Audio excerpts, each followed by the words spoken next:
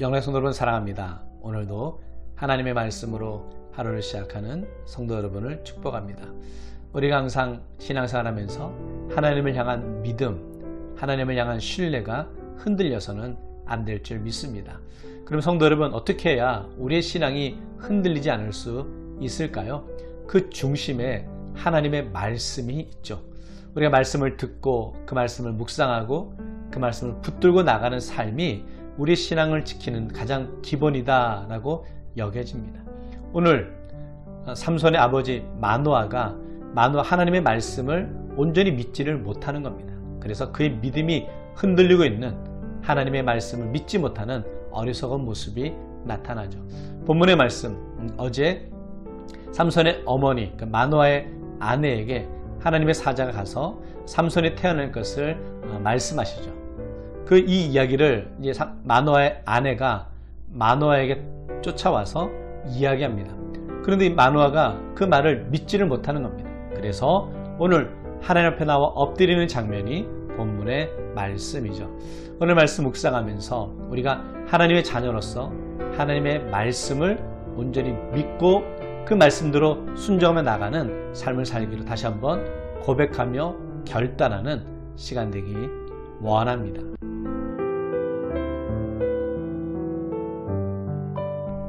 말씀에서요. 아내의 얘기를 들었던 마누아가 그 말씀에 확신이 없습니다. 그래서 하나님 앞에 나와서 기도하며 이렇게 구하고 있는데요. 8절 말씀입니다.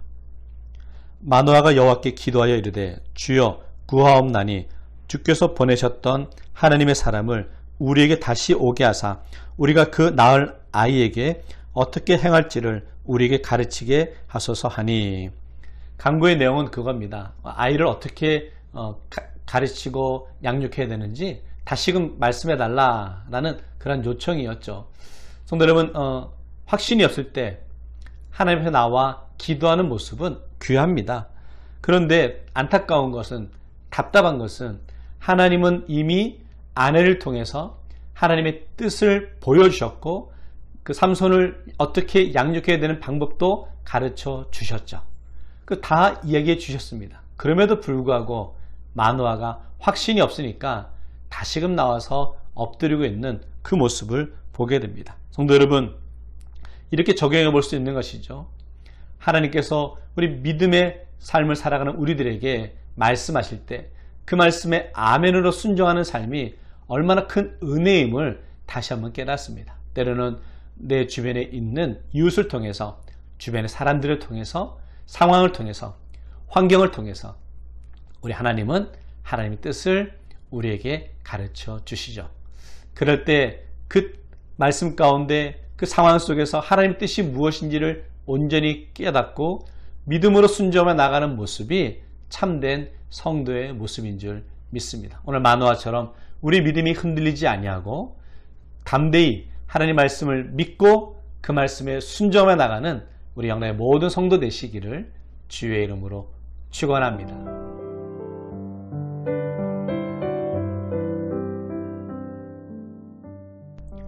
마노아의 강구를 들으신 하나님께서 이제 다시 사자를 보내주시죠. 구절 말씀인데요.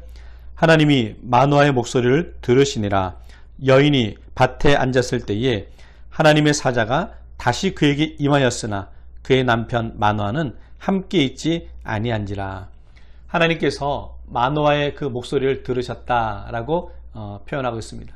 그런데 재미있는 것은 이번에도 하나님께서 사자를 보내시는데 마노아가 요청했으면 마노아에게 나타나셔야 되는데 그러지 않고 오늘 본문에도 마노아의 아내에게 먼저 나타나신 것을 보게 됩니다.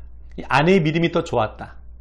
그리고 마노아는 여전히 그 믿음이 문제가 있었음을 어, 보여주는 장면이죠. 자, 어쨌든 간에 이렇게 어, 하나님 사자 나타나니까 마노아의 아내가 빨리 마노아를 불러서 같이 이제 그 이야기를 듣는 장면인데요. 오늘 12절 말씀에 이렇게 묻고 있습니다. 마노아가 이르되 이제 당신의 말씀대로 되기를 원하나이다. 이 아이를 어떻게 기르며 우리가 그에게 어떻게 행하리까? 쉽게 말하면 어, 하나님이 아들을 허락하신다 그랬는데 어떻게 키우면 되겠습니까? 라고 묻고 있는 거예요. 다시 되묻고 있는 거죠. 그런데 하나님의 반응은 이렇게 반응하시죠. 13절인데요. 여호와의 사자가 마노아에게 이르되 내가 여인에게 말한 것들을 그가 다 삼가서 무슨 뜻이냐면 어, 이미 하나님께서는 그 마노아의 아내에게 다 말씀하셨다는 겁니다. 그대로만 지키면 된다라고 이야기하고 계신 거죠. 성도 여러분, 무엇이 문제였습니까? 하나님의 말씀을 신뢰하지 못하니까 이미 하나님은 뜻을 말씀해 주셨는데 그 상황을 말씀해 주셨고 방법을 우리의 삶 속에 가르쳐 주셨는데 우리는 그 말씀을 그 상황을 받아들이지 못하고 믿지 못할 때가 있는 것을 보게 됩니다. 오늘 우리의 신앙의 모습 가운데 하나님이 이미 뜻도 보여주시고 말씀으로 가르쳐 주신 상황과 형편이 있으십니까? 그렇다면 온전히 아멘으로 순정하며 나아가십시오. 믿음 없는 자처럼 의심하지 말고 그 말씀을 따르고 그 말씀에 순정하며 나가는 것이 참된 성도의 모습인 줄 믿습니다. 바라기로 영락의 모든 성도들 하나님의 말씀하신 것을 믿고 깨달음으로 그 말씀에 온전히 순종하며 나갈 수 있는 우리 모든 성도 되시기를 주의 이름으로 축원합니다.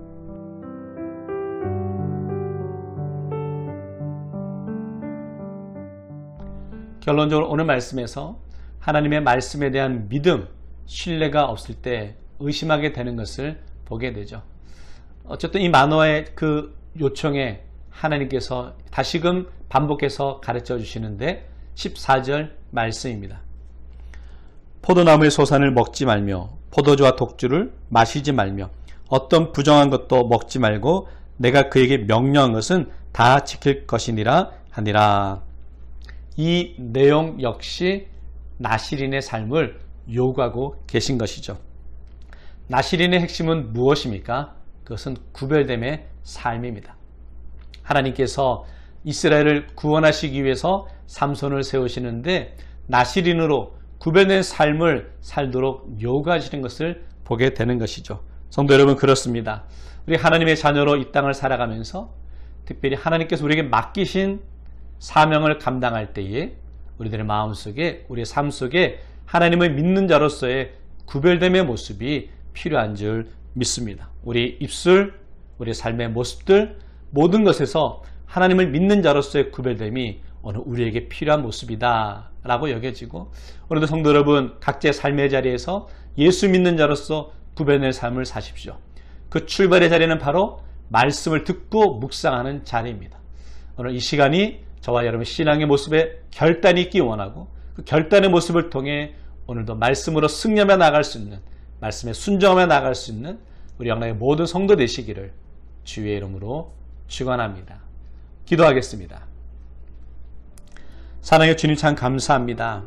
오늘 마노아의 믿음 없음의 모습, 하나님의 말씀을 온전히 깨닫지 못하는 그 말씀에 순종하지 못하는 어리석은 자의 모습을 묵상하면서 혹시 우리 모습 가운데서도 하나님의 말씀, 하나님의 뜻을 들으면서도 그 말씀 온전히 아멘으로 순종하지 못하는 연약함의 모습이 있지는 않은지요. 우리의 부끄럽고 연약한 모습을 가려주시고 철저히 주의 뜻에 순정하며 합당한 삶을 살아갈 수 있도록 은혜 허락하여 주옵소서. 우리 영내 성도들 가운데 여러 가지 삶의 모습에 때는 답답하고 건강에 연약함으로 해서 힘들어하시는 분도 계시고 관계의 어려움 속에 속상해하시는 분도 계시고 또 경제적으로 어려워서 길을 잃어버린 것처럼 힘들어하시는 분도 계신데 한 분 한분 주님 만나주시고 붙잡아주시고 위로하시고 하나님의 기적도 허락하여 주옵소서. 7월 달에 있을 우리 아동부 여름 성경학교와 중고등부 리추릿 하나님께 함께하여 주셔서 이 모든 시간들을 통하여서 우리 어린 자녀들이 하나님을 만나고 은혜를 고백하는 결단의 시간 될 수 있도록 인도하여 주옵소서. 오늘도 되어지는 모든 일들을 주님께 가옵고 예수님 이름으로 기도하옵나이다. 아멘.